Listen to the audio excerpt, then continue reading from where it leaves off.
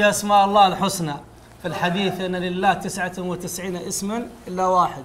من إن لله مئة اسم إلا واحد. من أحصاها دخل الجنة. من أحصاها دخل الجنة.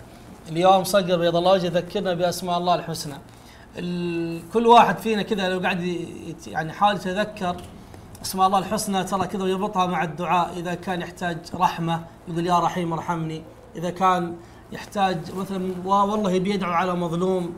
يا جبار يا منتقم كيف إنه يسخر هذه أسماء الله الحسنى بما يتناسب مع الدعاء؟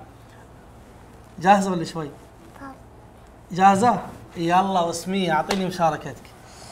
هي عن الصدقة. عن الصدقة يلا قوليها. الصدقة تطفي حطب الرب.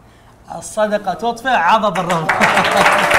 ما شاء الله عليك ما شاء الله. الله يحفظها. اذكروا الله عليها يا إخواني ما شاء الله.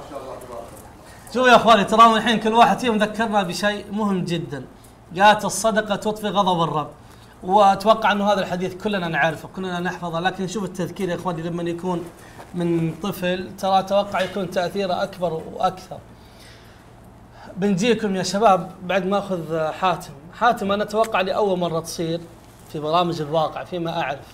نعم. تام من 2014 وأنا في هالباب. ما أذكر أحد جو أهله مرتين في برنامج. الحمد لله. يا أنها دعوة يا أنه إبراهيم قريب يا أنه في شيء. لا لا إن شاء الله. ما أدري. لا إن شاء الله.